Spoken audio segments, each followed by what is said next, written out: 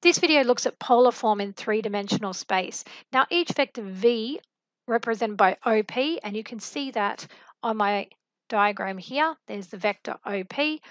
Um, can be written in polar form as v equals r, theta, and phi. Now the angle theta is measured from the positive x direction to the projection of v onto the xy plane. Now just a quick review of projection, projections. We'll be doing these um, in more detail later.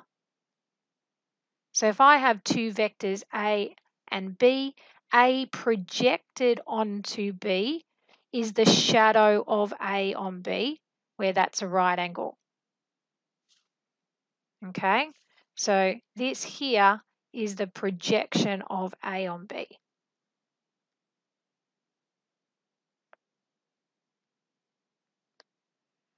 So as you can see, this vector P creates a shadow on the xy plane here. And your theta is the angle that that projection makes with the x-axis. Now the range is a negative 180 degrees is less than theta, which is less than 180 degrees, where positive angles are formed by moving towards the positive direction. So always remember to, are your angles positive for quadrants one and two, or go to three and four with negative angles. So they have to be between negative 180 and 180. Um, the angle phi is measured from the projection of V on the xy plane to the vector V. So you can see phi here. So again, that projection of V on the xy plane and phi is measured up to V. Uh, think about it as the altitude angle.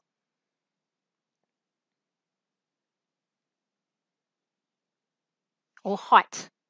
Now the range is negative 90 degrees, which is less than theta, which is less than equal to 90 degrees. So that's for So you have to go between 90, negative 90 and 90, where positive angles are formed by moving towards the positive z direction. So positive angles up, negative angles down.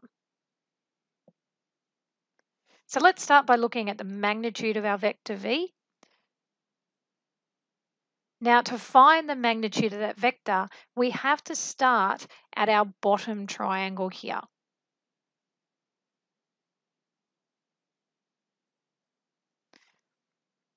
So this is my x, this is my y. I'm just going to let this equal h. That projection of vector v on the xy plane is h. So using Pythag, c squared equals a squared plus b squared.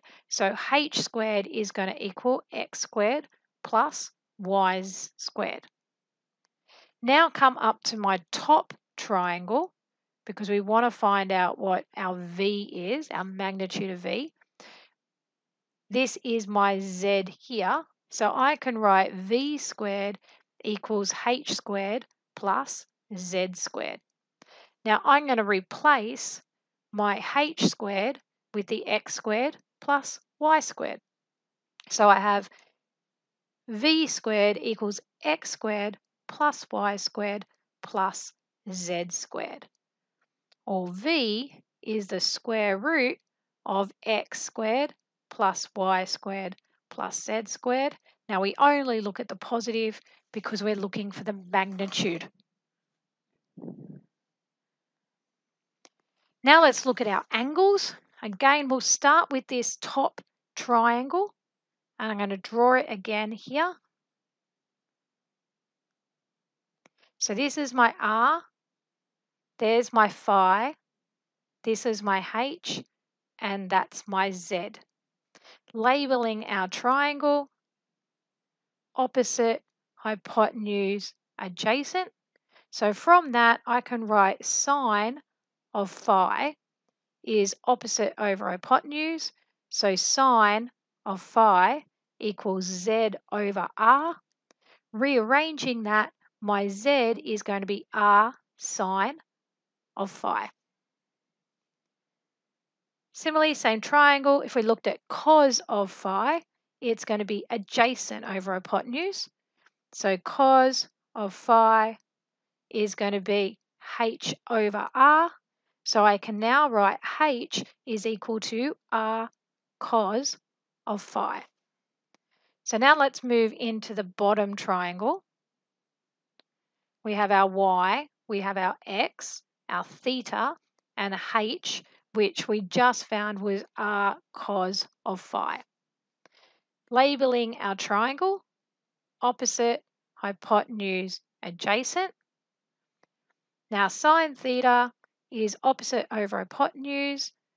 Sine theta is y over r cos of phi.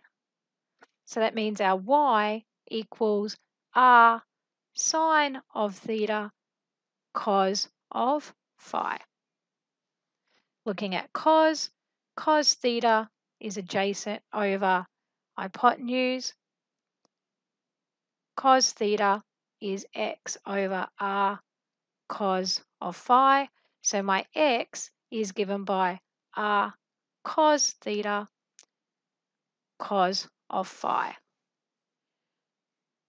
Also, don't forget, which we've done previously, tan theta equals opposite over adjacent, which is our y over x. So important things we've found, magnitude, what our z is in terms of phi, what our y is in terms of theta and phi, and what our x is in terms of theta and phi. Now this is summarized here. Um, the triangles are there, so you can learn the formulas or you can derive them each time. It's up to you. Now, when converting to polar form, you need to take care to choose the angle theta in the correct quadrant of the xy plane. So think about where you are in terms of quadrants. Um, on your formula sheet, your magnitude formula is there.